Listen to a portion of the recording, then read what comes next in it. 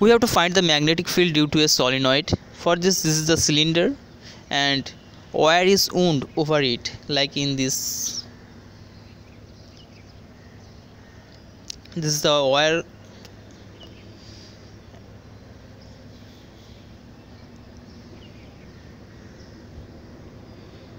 Thus this system makes a solenoid. And this is the axis of the cylinder or the solenoid. And the axis is along the x-axis. So can that is x. And we have to find the magnetic field at any axial point of the solenoid. So that is the p on the axis. And consider a small distance dx over it and join them and the angle between this this is theta. So now we can easily find the magnetic field due to dx at p that is dB. For dx at p that is equal to mu naught n. n is the total number of turn in length dx. That is number of turn of wire this is the formula. And a is the radius of the cylinder. So that is a. So if small n small n is the number of turn per unit length then n that is small n into dx. So you can put this there. That's equal to mu naught n dx i a square by 2 a square plus x square to the power 3 by 2 that's equal to dB now from the diagram we can see that the tan theta that is theta and tan theta is a by that is x. So tan theta is equal to a by x from this cot theta that's equal to x by a and from this x equal to a cot theta. And after differentiating, differentiating over on both sides we get dx equal to minus a cosec square theta into d theta. Now we have to put this value at this point. So that's equal to dB that's equal to mu naught n. And the value of dx that is minus a cosec square theta d theta into ia square by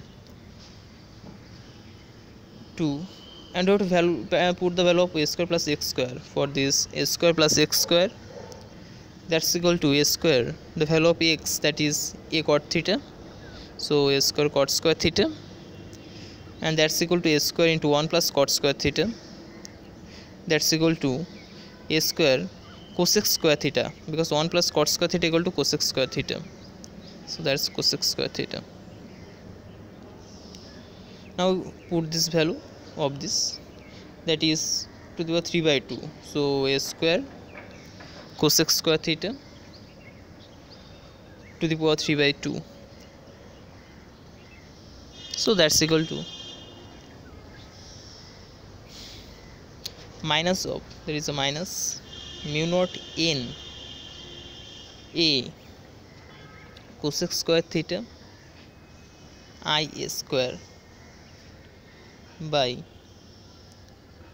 2 aq cosec to the power 3 theta okay?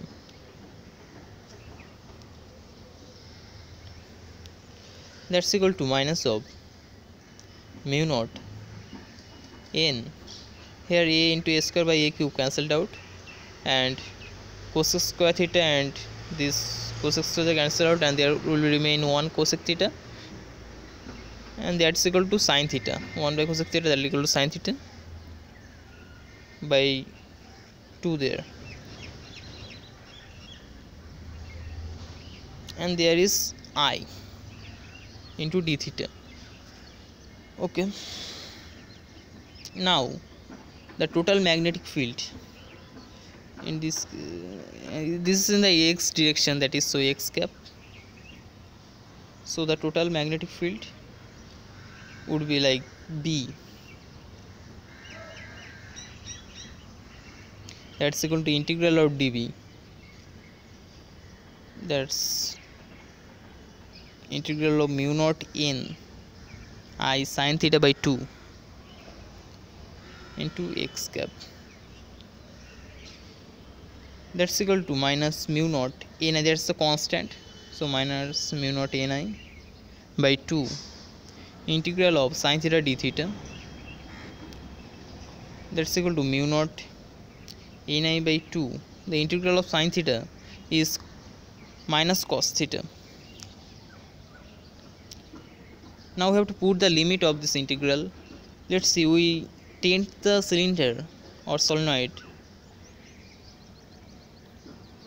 to this from this. So this is the theta 1 angle from theta 1 and this is the theta 2 angle. So we tint this cylinder from theta 1 to theta 2 from theta 1 to theta 2 so the limit is from theta 1 to theta 2 just put the limit.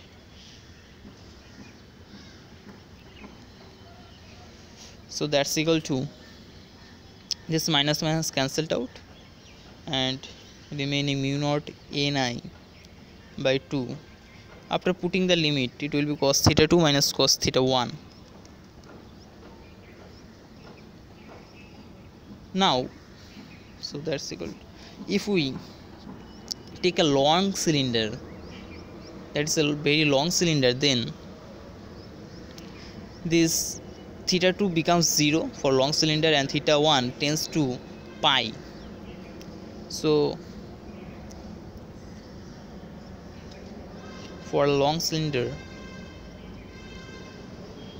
a solenoid this is theta 1 equal to pi and theta 2 equal to 0 so we put this value for long cylinder that it equal to cos 0 minus cos pi. That's equal to mu naught ni by 2 value of cos 0 1 minus cos pi minus 1 that's equal to mu naught ni by 2 into 2 that's equal to mu naught ni thus we get the magnetic field. And the direction of this magnetic field is along the x-axis. So